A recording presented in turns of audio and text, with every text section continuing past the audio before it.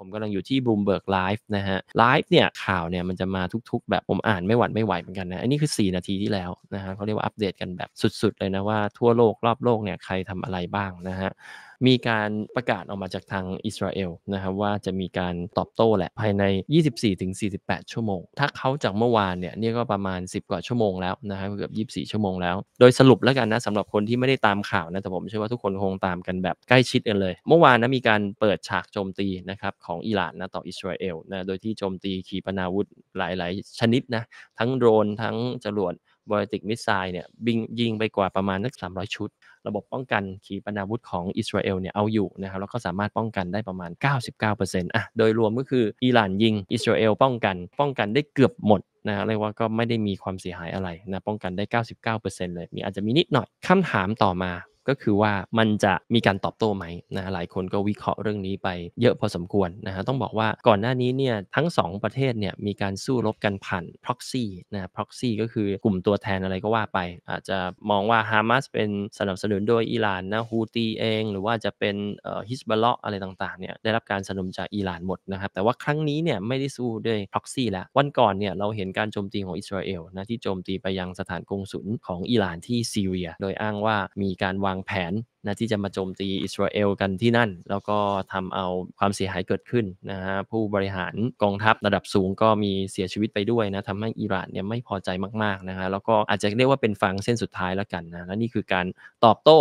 จะเรียกว่าตอบโต้สั่งสอนของอิหร่านก็ได้นะต่ออิสราเอลนะฮะสิ่งที่น่าสังเกตก็คือว่า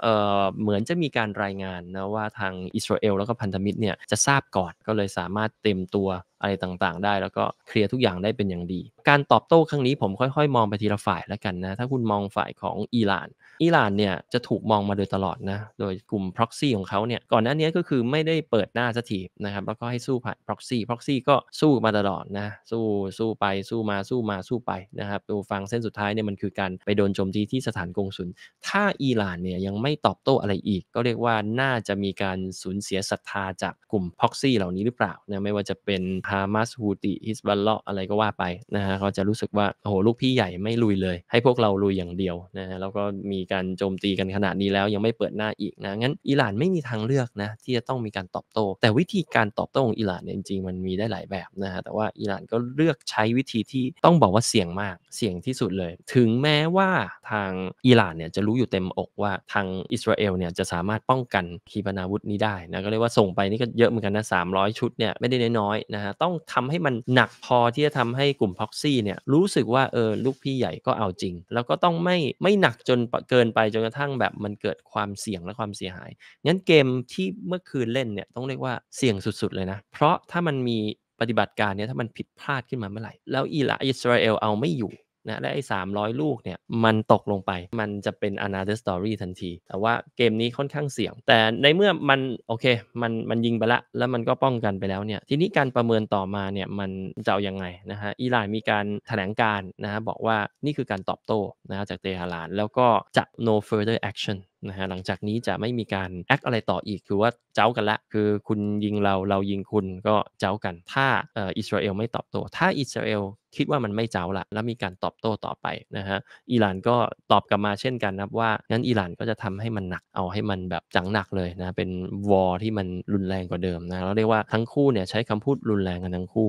ซึ่งโอกาสที่มันมันจะเอาไม่ลงเนี่ยมันก็มีสูงอยู่พอสมควรเหมือนกันนะครับท่าทีกลุ่มพันธมิตรแล้วกันนะไม่ว่าจะเป็นโจไบเดนแล้วก็กลุ่ม G7 ทั้งหลายนะครับวันนี้ก็มีการประชุมกันแบบถึงพริกถึงขิงกันพอสมควร ท่าทีของกลุ่ม G7 กับไบเดนเนี่ยก็เป็นท่าทีของการเอ้ยเอ้ยอย่าพึ่งไปอะไรมากนะฮะแล้วก็ไม่อยากให้ตอบโต้ เหตุผลที่ไม่อยากให้ตอบโต้ก็คงจะเดาไม่ยากนะก็มันก็ไม่ได้มีความเสียหายมันเอาอยู่ แล้วก็ก็ไปยิงเขาจริง ๆ อะไรแบบเนี้ยนะครับ อันนี้คือสิ่งที่ทางไบเดนแล้วก็กลุ่ม G7 เนี่ยคิด นะฮะแต่ว่าคำถามก็คือเนทันยาฮูเนี่ยจะคิดแบบนี้ด้วยหรือเปล่า งั้นดันเมื่อคืนเนี่ยมันก็เลยมีความพยายามในการประชุมกันหลายฝักหลายฝ่าย ผมกำลังอยู่ที่ Bloomberg live นะฮะไลฟ์เนี่ยข่าวเนี่ยมันจะมาทุกๆ แบบผมอ่านไม่หวัดไม่ไหวเหมือนกันนะ อันนี้คือ 4 นาทีที่แล้วนะฮะเขาเรียกว่าอัปเดตกันแบบสุดๆ เลยนะว่าทั่วโลกรอบโลกเนี่ยใครทำอะไรบ้างนะฮะ